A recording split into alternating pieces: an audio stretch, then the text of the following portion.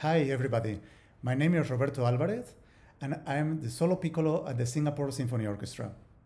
It has been great to listen to all of you under the woodwind category at the Singapore Raffles International Music Festival.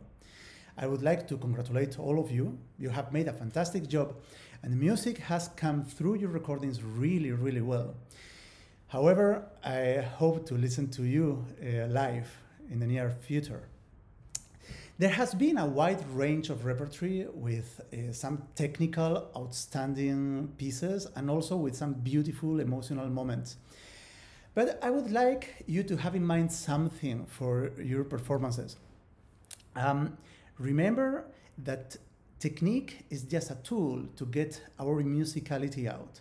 So we want the, the best tool available, but remember that it is just a tool. So try to shape your phrasing a bit more. Try to use your dynamics to bring the music out.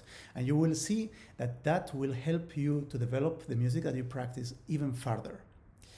Lastly, I would like to uh, thank all of you for taking the time to practice your repertory, but also to your families and to your teachers for their unconditional uh, support. Well, congratulations to everybody and see you all very soon. Goodbye.